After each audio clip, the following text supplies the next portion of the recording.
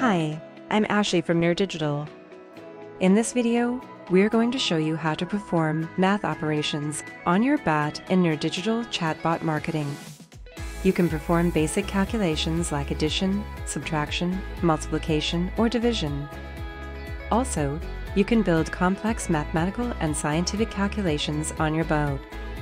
Let us take a look at few examples.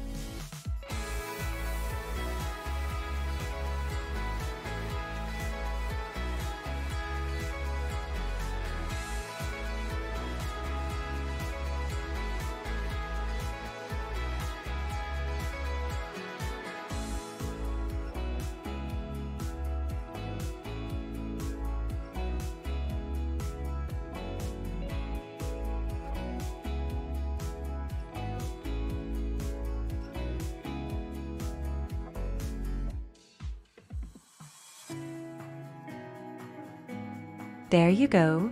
You just have learned how to perform math operations on your bot in your Digital chatbot marketing.